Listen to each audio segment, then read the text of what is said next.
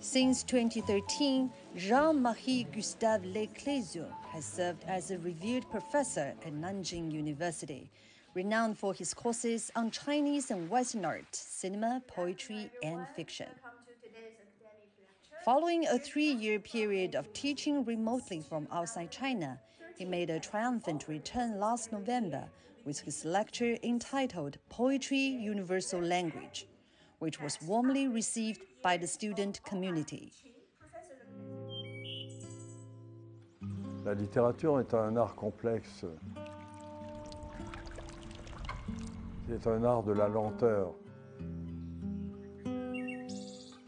Ça ne va pas vite.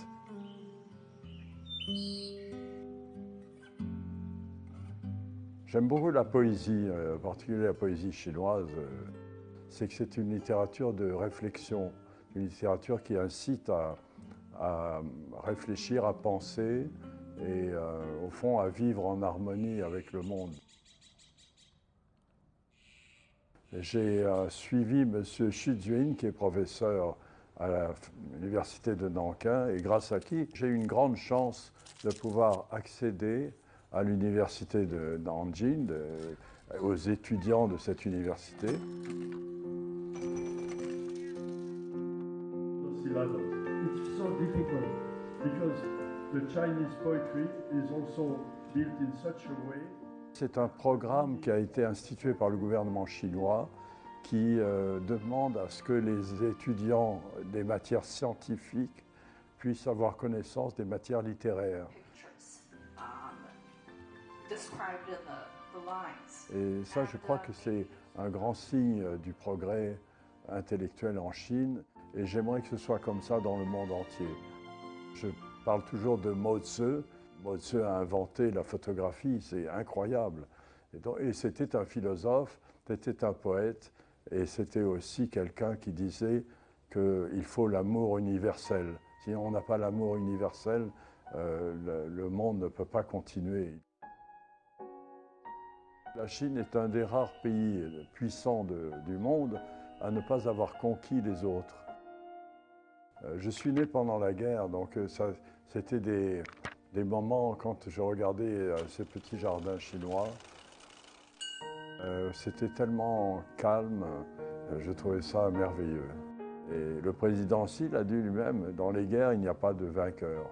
Les vainqueurs n'existent pas dans les guerres. On est toujours perdant quand il y a une guerre. Donc ça, c'est un élément important de la parole chinoise.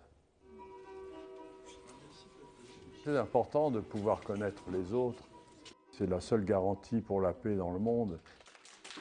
Je suis très reconnaissant euh, que la Chine euh, me fasse cet honneur et euh, j'espère mériter, continuer à mériter cet honneur.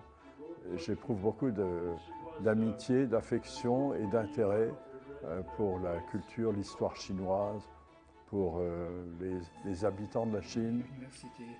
Ce sont des livres assez rares et anciens.